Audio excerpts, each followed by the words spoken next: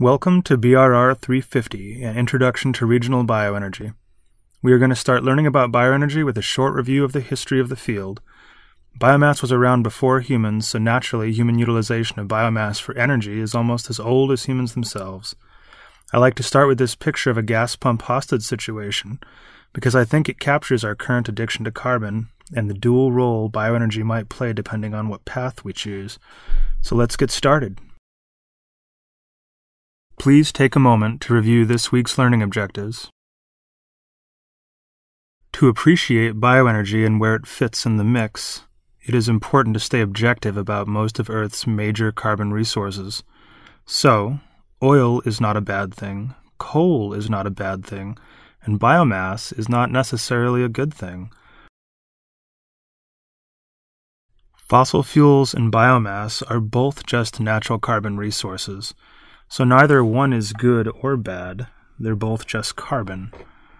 That being said, oil and coal can be a bad thing depending on how we use them, and biomass could also be a bad thing depending on how we use it.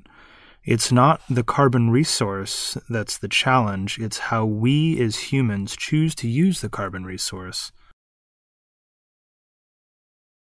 Bioenergy has been around for as long as humans have had fire. Biomass was the simplest source of combustible carbon we could get our hands on, and once we learned how to ignite it, the rest was history. Humans love burning carbon because we live in a world made of carbon surrounded by an atmosphere full of oxygen.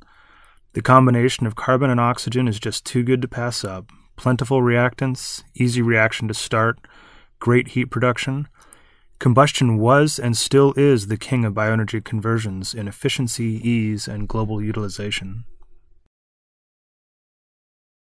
After fire, the next big step for carbon was ethanol. Samuel Morey and one of the earliest internal combustion engines are shown here. Ethanol has been around for a very long time.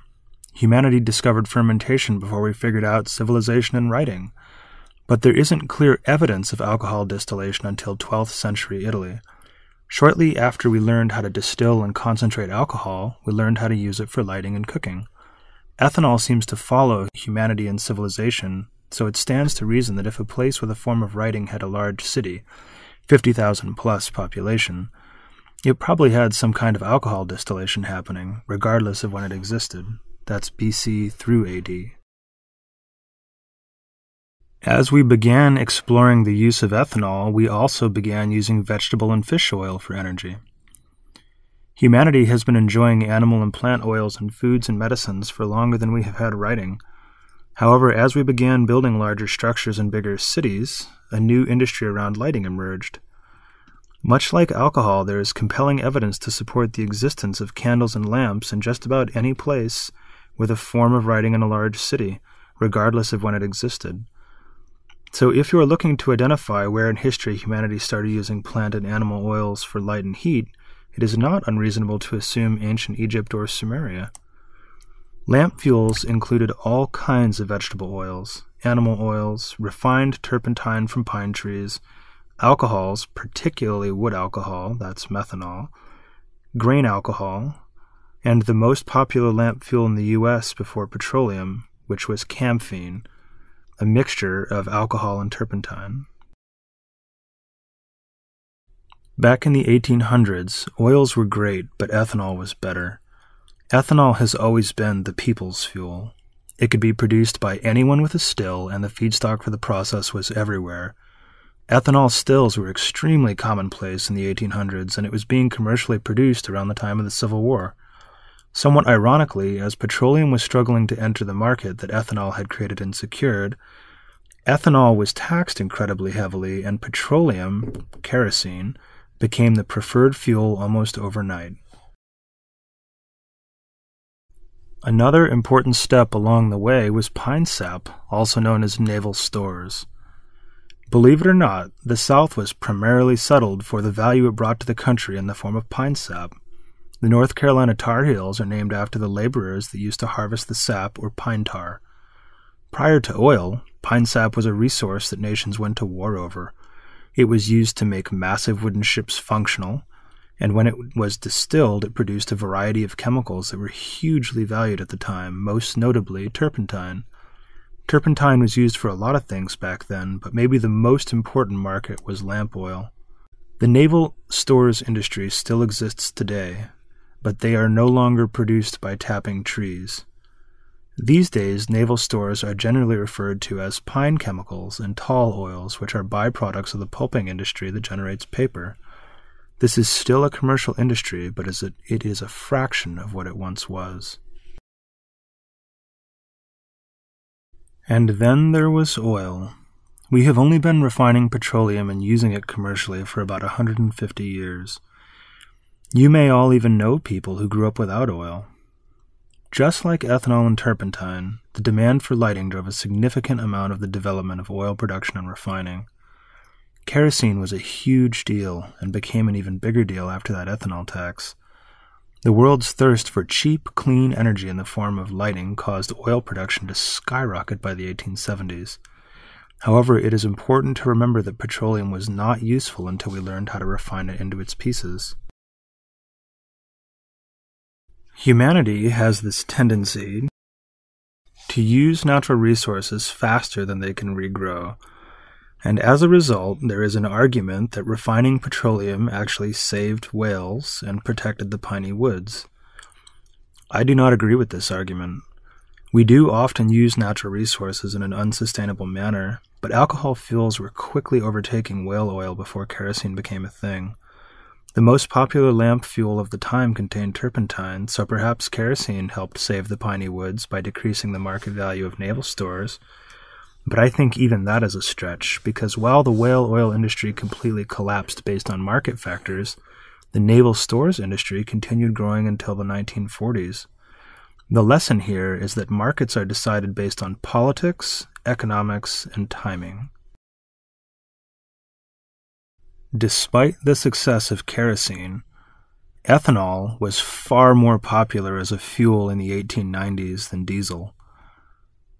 Once we sorted out oil refining, we all of a sudden had a variety of fuel sources to choose from. By the 1890s, there were dozens of internal combustion and steam engine designs that ran on a dizzying spectrum of fuels. These were soundly defeated by Rudolf Diesel and his diesel engine. The design basis for this engine was fuel flexibility and rote efficiency, and Rudolf succeeded in hitting his mark thus giving the world an engine design that it continues to use today over 120 years later. It is important to note that electric engines and electric vehicles became competitive at nearly the same time diesel and gasoline vehicles did. Much like the whale oil, naval stores, ethanol, petroleum battle for market share, combustion vehicles were competing with electric vehicles, for a variety of reasons, combustion vehicles advanced and electric vehicles were largely forgotten by the mainstream until a relatively recent resurgence. It is ironic that the same reasons electric vehicles were compelling in the 1900s are the same reasons they are compelling now. It will be interesting to watch the electric car industry this time around. If aluminum welding becomes more standard, the price of carbon fiber drops, and the battery component recycling becomes normal, it can end up being quite competitive. However, those first two conditions also help combustion vehicles, so it's far from a simple projection. Far younger than oil and coal, natural gas only became a heating standard in the 1950s. As we become immersed in the recent natural gas bonanza, it is important to remember how new this resource really is. We have not always had it, and we have not always used it, in many senses, it is a very new fuel, much, much younger than ethanol, naval stores, coal, and petroleum. As more and more of our infrastructure is powered on natural gas, we need to consider what this will mean for our future. The early 1900s were a turning point for carbon as an energy source. It was a perfect storm of energy technologies, and only one or two was going to become dominant. Ethanol, diesel, gasoline, and electric engines were all available and competing. Vehicles had created an incredible demand for portable energy, and mass production was finally becoming mainstream. The important takeaway is that the government policies and market conditions of the 19th century are largely responsible for the status quo of the 21st century. It's worth thinking about. Take a moment and review the timeline recap from the early 1800s to the mid to late 1900s. If a market already exists, a better way of doing things can become the new standard very quickly.